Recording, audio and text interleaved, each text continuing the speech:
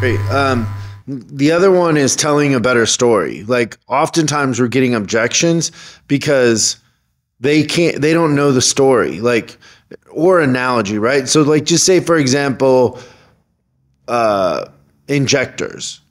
Like using the analogy of it's like a shower head. Any of you ever seen a shower head build up lime? That's the same thing with your injectors, right? Like that's an analogy that people can get behind better than product knowledge Oh is yeah, the is the for sure. analogy, right? Yeah. Or just the the story, and also preempting a story. So, like, if I was presenting, the, eh, you know, depending on the brand, if I was an advisor and I was presenting anything over a thousand dollars, let's say Toyota store.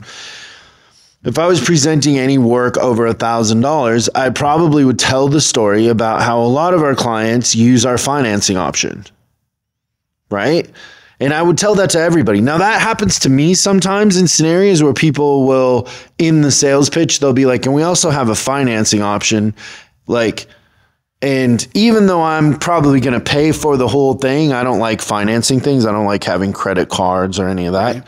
Um, I don't have a lot of debt. It's not, you know, it's just not my thing. I don't begrudge it. But somebody who might be afraid of, oh, I can't afford it, and might clam up and say, no, uh, button it up. I'm going to come pick it up.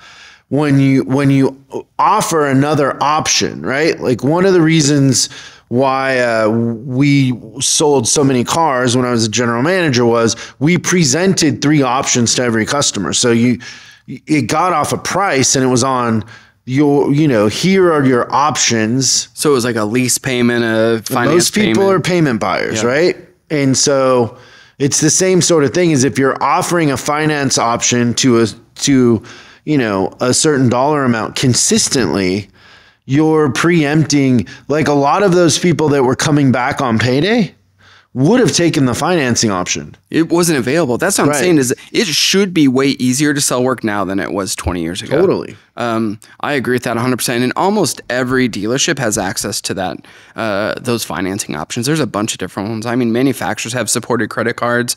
Um, you know, you got uh, like your Sunbit, and there's a bunch of stuff that people could be using as resources. But there's way more ways to get somebody to to feel like they can be comfortable comfortable in doing the work. And then you hit the nail on the head too is that you have to present that to every customer because believe it or not, sometimes the people that take advantage of the financing are the ones that don't really need to. They just choose to. I, I'm. I'll never forget. I had this happen um, several times when I was selling cars. Is like people could write a check for the car, but they're like, "Wait a minute! If you're going to loan me, you know, forty thousand dollars for 36 months with no interest, why wouldn't I just take it?" Yeah, finance conversion. Yeah. we so to practice those. yeah, so it's just it makes a lot of sense to to do it that way, and then your chances of on this on a on the sales side was you would sell a warranty if you were doing zero percent financing for forty eight months, always every single time. But uh, but on the service side, I just think that the fact that you can uh, one you'll you'll roll more stuff, right? So if you if you got somebody that needs fifteen hundred dollars worth of work and maybe they need a couple of preventative maintenance items, it's easier for them to do two grand over eight months as opposed to just splitting with the fifteen hundred and just getting what they um, what they originally like the primary concern. So I just think that you I would get really familiar with any kind of alternative financing that you offer in your store. That is probably one of the number one things that you could do. And don't present it to people you think can't afford it. Present it to everybody. Yeah, it's good. So uh, the last one I, that I have is that you're probably not believable or authentic if you're getting a lot of objections.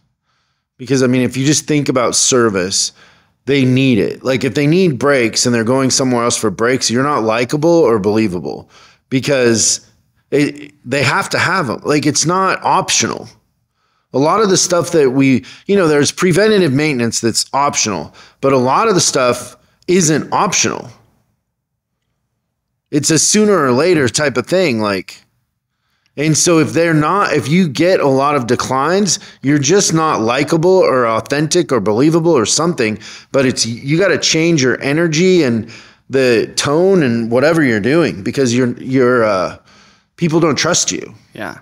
It reminds me a lot of like imagine if you worked at a funeral parlor and couldn't sell a casket. Yeah. There you go.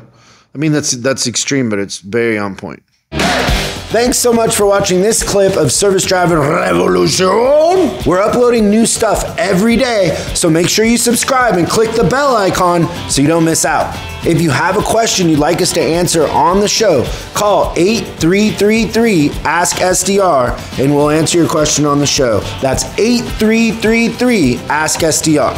For special deals on our books and training, head over to offers.chriscollinsinc.com. Now that's offers.chriscollinsinc.com. I'm Chris Collins, and I'll see you in the next video.